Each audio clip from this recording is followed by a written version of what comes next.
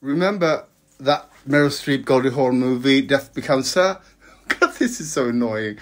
Uh, I got some cotton here, or whatever it is.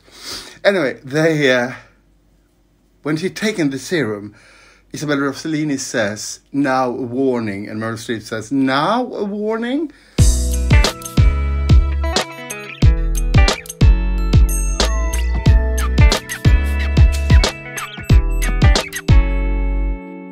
Today's episode, how do you do, Winter So, welcome to Stories of My Life. So, it's Monday. I'm off to the dentist to extract a wisdom tooth. And when I say that to people, when I tell them, they sort of go, oh, so I think this will be, this will be a bloody affair.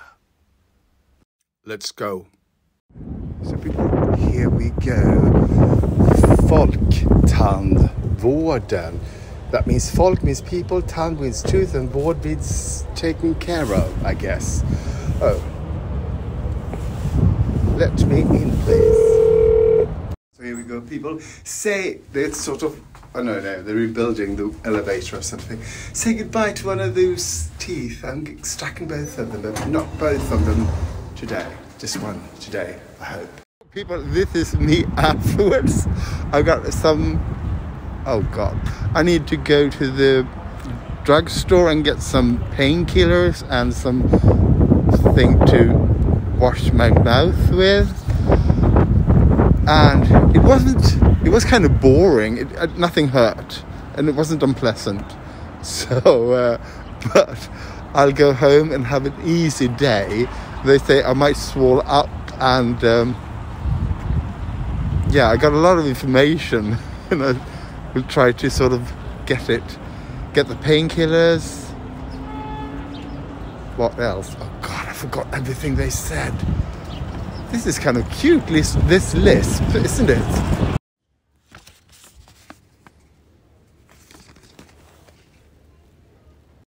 Remember that Meryl Streep Goldie Hawn movie, Death Becomes Her?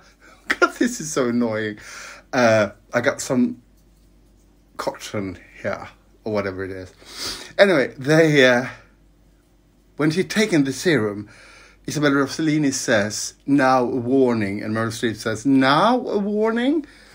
And uh, so I say the same because afterwards they said, well, are you going home? Yes. Oh, good and I thought, I, what, what, what if I was going to work? She said, keep something cold for 15 minutes and then something, and 15 minutes not, and 15, so the swelling will go down. God, sweating. Uh, you might get fever. For three days, you have to eat these sort of anti inflammatory capsules. You have to rinse your mouth for 14 days with this antibacterial stuff. And what else? You might get fever and you might get swollen. Yeah, that, I think that's it. So they said nothing about this before. Not that I would sort of change anything, but it would have been nice to sort of, what if I planned something? Going to partay? Being a photo model or something like that? I think I'm going to continue lefting. Now I need to find something cold to put here because I, I can't look swollen being a famous photo model. So today will be kind of boring for you.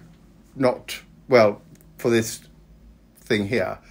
Mostly me with frozen goods tied to my face. ah, this is frozen minced, vegan minced meat how do I do this?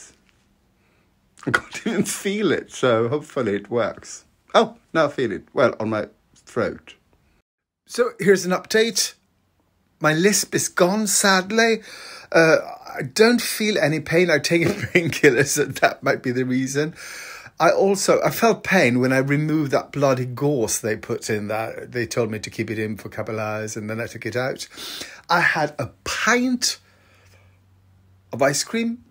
That was fantastic. Now I'm going to eat this sort of mess, which is just vegan um, meat. Well, the thing I had on my face.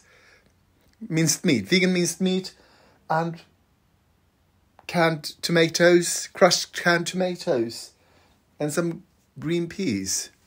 I'm terribly hungry. I am. Um, I'm just lying on the sofa watching things on YouTube's. So, I'm feeling fine. Might be the painkillers talking. I'm feeling fine. I'm a bit tired. I'm now FaceTiming with Magnus, who's. You're looking really good in that beard. Oh, thank you. So tomorrow we're going to go to Spritmuseet and look at an art exhibition of Pierre and Gilles and about gin. Hopefully, if I'm feeling fantastic, and so far I'm feeling fantastic. Magnus is celebrating Martini on his own because I'm on painkillers, and he showed me this fantastic, and I said Blue Shark, but it's not. What is it? Blue Arrow. Oh. What's in it?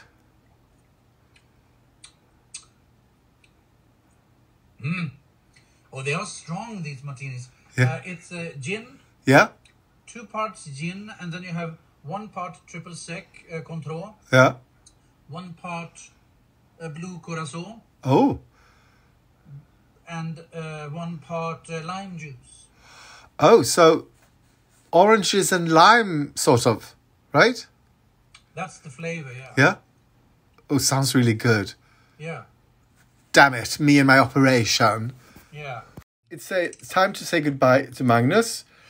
I'll be meeting him at 11 o'clock tomorrow because we are going to go to the Liquor Museum. Watch uh, two exhibitions, one Pierre Gilles and one about gin. Do you want to say goodbye? Goodbye. No, goodbye, people. Say something nice to the people who's watching. Something nice to the people. Goodbye. I will be listening to great music, but I can't really play it for you because Instagram will go bonkers. Let's start with Dame Joan Collins. Where would she be if she was on a. So, ladies and gentlemen, I introduce you to the old man and the sea, sitting here watching people going by.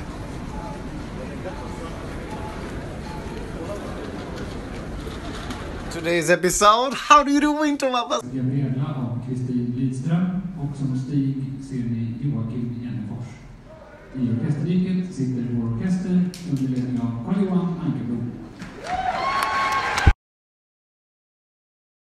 In to thank you for watching and for liking commenting subscribing and following. It really helps and uh, something to do with the internet and the algorithm i think. So thank you so much